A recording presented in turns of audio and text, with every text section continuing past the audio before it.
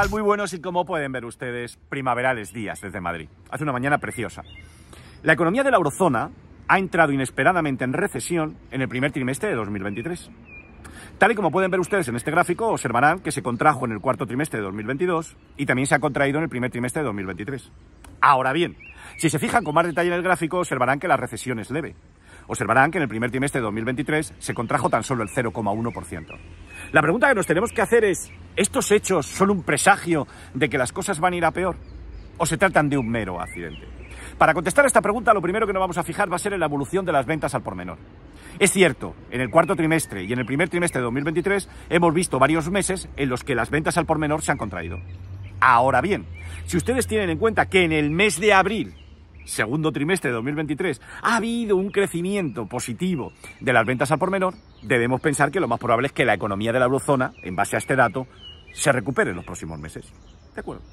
También hemos observado el fuerte crecimiento experimentado por los salarios nominales en la eurozona, que ha llevado a que el salario real sea positivo. Por lo tanto, debemos considerar como escenario más probable que este factor va a colaborar a una recuperación de la eurozona. Y luego, finalmente, esta recesión inesperada y leve que estamos viendo en la eurozona no se está produciendo tampoco en el resto del mundo. No hay sincronía con el comportamiento de la actividad económica en el resto del mundo. Por lo tanto, la conclusión a la que llegamos nosotros en Bolsa Cava es la siguiente. En los próximos meses, la actividad económica de la eurozona se va a recuperar. Pero esta recuperación va a ser temporal. Porque a continuación viene la recesión buena, viene una recesión profunda.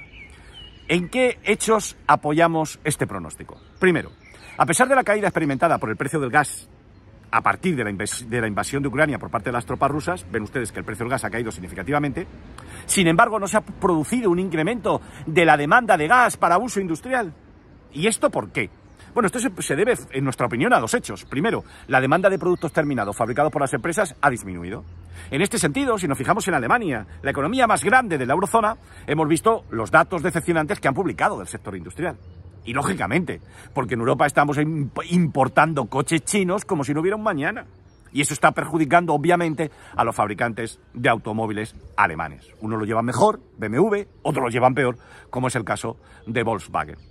En segundo lugar, nos encontramos, tal y como recoge The Guardian, que empresas alemanas están recortando su producción en Alemania y la están trasladando fuera. La pregunta que nos tenemos que hacer, bueno, ¿y este movimiento es algo transitorio, es algo puntual o es una tendencia? Hombre, yo creo que es evidente que la competitividad en Europa se está, está cayendo. Por una razón muy sencilla, por el exceso regulatorio, por el incremento de costes que va a suponer para las empresas y los ciudadanos la aplicación del Pacto Verde y también por el incremento de los costes de producción y también por los procesos dilatados para la concesión de permisos para realizar determinadas actividades, por el, coste burocrático, pudiésemos decir.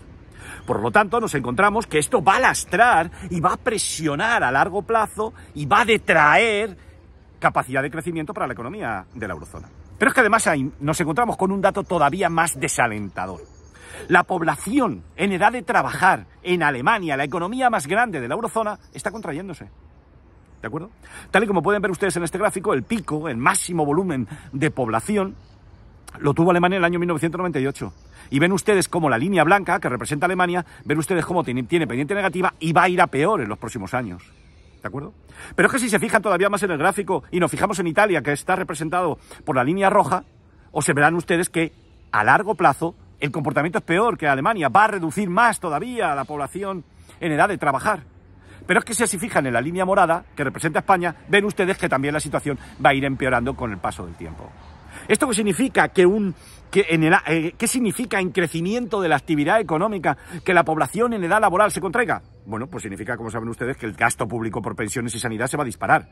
Y en segundo lugar, que detrae, limita la capacidad de crecimiento de la economía. Por lo tanto, estos datos nos revelan que si bien a corto plazo puede haber una recuperación de la actividad económica de la eurozona, esa recuperación será temporal para a continuación caer en una recesión profunda. Ahora bien, ustedes saben que nosotros somos más de gráficos, ¿de acuerdo? Nos vamos a fijar en la rentabilidad de los bonos a dos años alemanes. Tal y como pueden ver ustedes en este gráfico, observarán que desde febrero de 2023, en el primer trimestre de 2023, y si se fijan ustedes anteriormente a finales del año 2022, ven ustedes cómo la rentabilidad del bono se ha acercado a una resistencia a la zona 2988 y se ha parado. se está moviendo lateralmente. ¿Esto qué nos indica? Que la economía se está flaqueando. Ahora bien, ¿nos anticipa que la economía de Alemania o la economía europea está en una recesión profunda? No. ¿Qué necesitaríamos para que nos avisasen de que entrase en una recesión profunda? Bueno, de entrada necesitaríamos que se perforara esa línea de tendencia alcista de color azul grueso que les hemos dibujado en el gráfico. Y ese hecho no se ha dado todavía.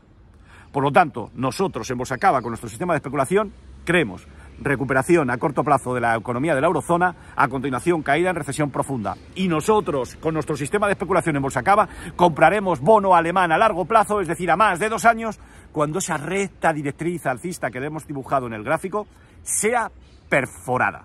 ¿De acuerdo? Mientras tanto, seguimos en fondos del mercado monetario a corto plazo con un vencimiento en torno a 60 días. Hoy es sábado, toca meditar y aquí tienen materia. Adiós, hasta luego, buen día.